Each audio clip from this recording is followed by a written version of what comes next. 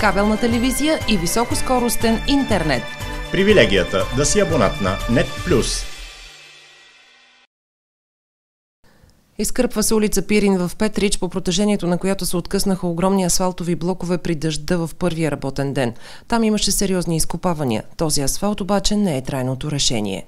Господин Пов, доколко можем да кажем, че трайно се решава тук проблема на улица Пирин и че при следващия дъжд няма да бъде отнесен и този асфалт, който е, ако естествено не се реши подземната инфраструктура като проблем? Да, в момента това, което сме извършени е аварийно.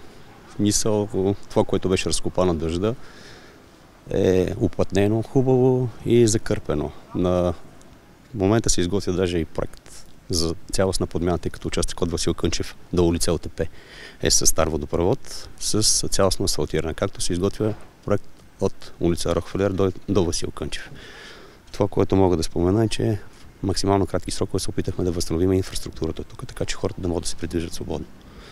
Имаше проблем, мисля, че максимално бързо срок сме го странени. Това, което изчакваме и така като експресно решение мога да направим е след консултация с проектантите да бъдат изградени една или две. Те ще преценят колко отводнителни решетки, които отводнителни решетки задължително ще трябва да ги заустиме в а, а, реката какви срокове, господин Попов, е възможно това да стане, имайки предвид, че започва есения сезон и а, повторяемостта на това упражнение, изкърпване, а, отново отромване на асфалт, откъсване на цели блокове, не е никак а, удобно и за хората, които са тук, не е решение. Имайки предвид водните количества, които се изсипаха, нали, нямаше как човек да гарантира за това нещо, защото при такава буря и през 50 метра да се правят отделителни решетки, няма как да бъде решен този проблем с това нещо. В максимални кратки срокове ще бъдат направени тези решетки, стига да а, видиме мястото точно където е необходимо да бъдат монтирани, така че да не, да не ги заустваме с съществуващата канализация, да не направим бъдещ проблем.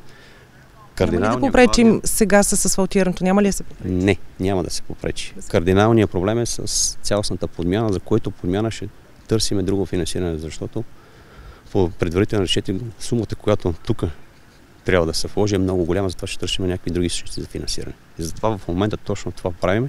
Ще изготвим проект за цялостна подмяна на водопровод. С... А до тогава заустване в реката? Точно така, заустване в реката с една и при необходимост две отдалителни решетки. Още при заснемането на репортажа ни в утрото след проливния дъжд, живущи пък на улица Свети Свети Кирил и Методи в Петрич казаха пред камера, че проблемът, за да бъде с сантиметри кална маса затрупа на улицата им при дъждовно време, идва от дере, намиращо се в района на Младежкия дом. Управителят на ВИК Петрич Ивайло Христов, когато потърсихме за коментар, потвърди това и обяви, че се търси ново решение, защото заустването в канализацията категорично не е такова. Значи точно така, от дерето, където е по пътя за младежкия, изграден е на времето отводнителен канал, който до едно място, точно до, мисля, до пожарната някъде, съществува. Оттам нататък преминава през частни имоти, които там а, вече не съществуват, той е нали, разбит и така нататък, а ние дори не можем да влезем в тези частни имоти. А, преди беше заустен в канализацията, което, което направи така, че а, последният път а, при по-интензивни нали, валежи, а, мазетата на хората се напълниха, така че тези води, които идват от това дере, не могат да бъдат включени в тази канализация, защото ще наводиме поне 20-50 къщи и разбирате, че, разбирате, че трябва да търсиме друго решение.